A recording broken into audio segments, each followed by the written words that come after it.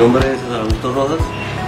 Soy el médico veterinario, soy el director de la Unidad Municipal de Asistencia Técnica del municipio del Carmen de Picalá y hoy vamos a, explicar cuál es la metodología y el procedimiento para eh, la inseminación artificial eh, en bovinos a término fijo.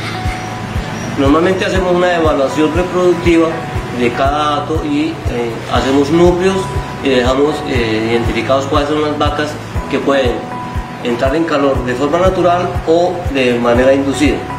De forma natural, eh, la vaca presenta el calor y nosotros estamos pendientes, eh, el usuario nos llama, verificamos que la vaca está en calor e inmediatamente hacemos el servicio de inseminación artificial para el tenemos un termo de nitrógeno que contiene las pajillas de semen de toros eh, de cebú rojo, blanco, cimental y jersey.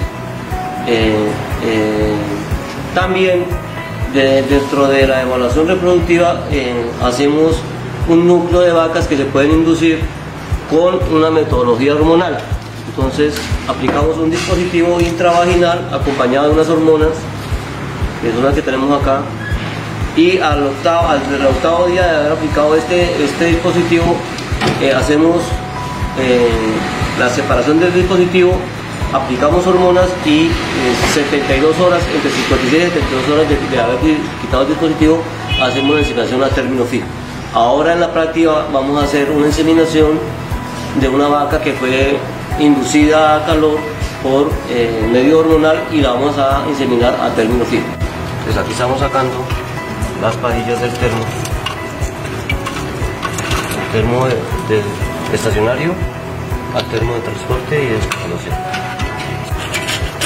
Aquí se mantiene más o menos a 192 grados centígrados bajo cero.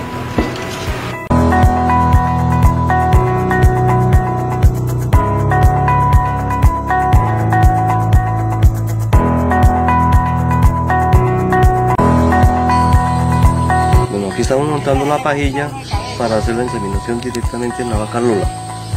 Vamos a aplicar un toro kid puro que se llama carrao. Vamos a hacer un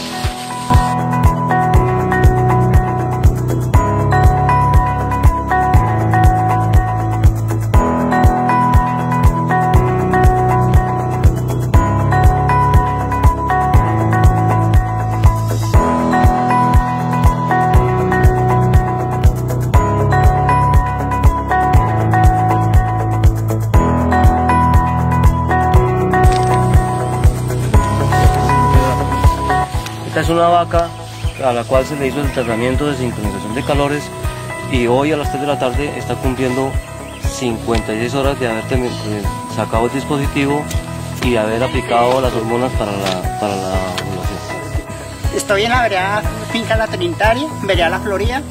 Este es un becerrito que ya fui, fue enseminado de un toro aquí en, en la vereda, en la finca La Trinitaria.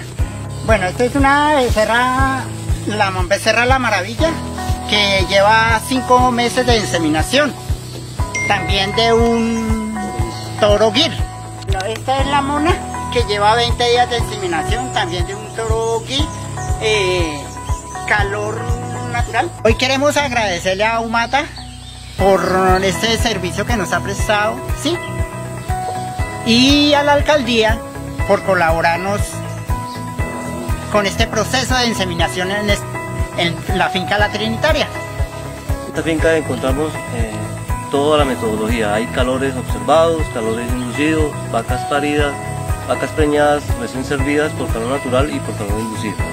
Eso es lo que estamos haciendo, un servicio personalizado, individualizado, eh, haciendo un seguimiento permanente a cada una de las vacas.